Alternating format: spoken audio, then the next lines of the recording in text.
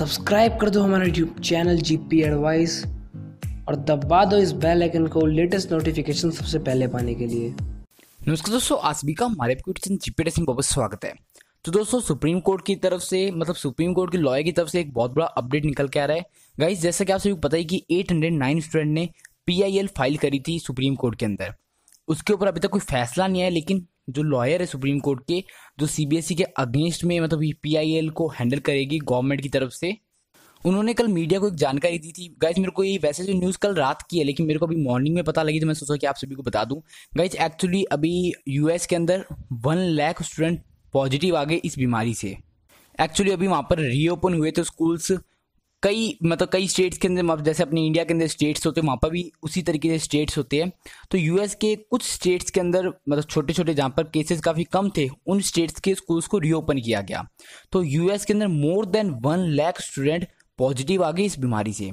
इसको देखते हुए एक बच्चे ने और एक बच्चे की पेरेंट्स ने, दोनों ने मिलकर सुप्रीम कोर्ट के अंदर एक नई पीआईएल और फ़ाइल कर दी। उन्होंने इसी का यूज़ किया कि यूएस के अंदर वन लाख स्टूडेंट रीओपन करने से पॉजिटिव आ गए।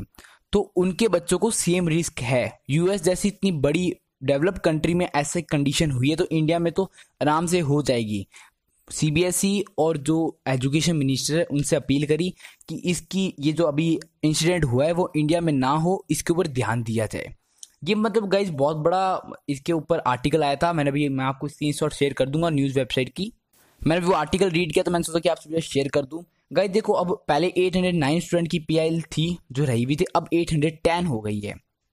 अब इसके ऊपर फैसला गाइज़ मे बी अब 17 अगस्त तक ही आएगा, क्योंकि आपको पता ही कि आज और कल हॉलीडे है। 17 अगस्त तक इसके ऊपर फैसला लिया जाएगा। लेकिन गाइज़ ये बहुत पॉजिटिव इंसिडेंट हुआ है। पॉजिटिव तो नहीं कहूँगा, लेकिन आप सभी की फेवर का इंसिडेंट है, क्योंकि यूएस के अंदर more than one lakh case आ गए हैं। तो अब गवर्नमेंट यही सोचेगी कि यूएस जैसी कंट्री में ऐसी कंडीशन हुई है तो अब इंडिया में भी हो सकती है। गाइज़ इस वीडियो को अपने ज़्यादा से ज़्यादा फ्रेंड्स से शेयर करना। क्योंकि गाइज़ जितने लोगों को पता लगे, उतने लोग जागरूक होंगे और उतने लोग अपील करेंगे। मैं भी गाइज़ आप सभी के साथ में हूँ। रजिस्ट्रेशन स्टार्ट हुआ है, लेकिन अपनों की, आप सभी की अभी ये उम्मीद नहीं गिरी है कि कंपार्टमेंट एग्ज़ाम कैंसिल हो गए। आपने, मैं और जितने भी हमारे यूट्यूबर्स है, सभी आप सभी के साथ में है। क्योंकि गाइज़ आप सभी को रिस्क है। उस रिस्क को तब तक गवर्नमेंट कम नहीं करेगी, तब तक हम सभी आपके साथ में हैं। तो गाई तो गाइज़ ये लेटेस्ट अपडेट था। आपको अपडेट कैसा लगा, ज़रूर कमेंट सेक्शन में कमेंट करके बताना। और गाइज़ इस वीडियो को मेरे सारे फ्रेंड्स साथ शेयर करना, जिससे उनको भी लेटेस्ट अपडेट मिल सके।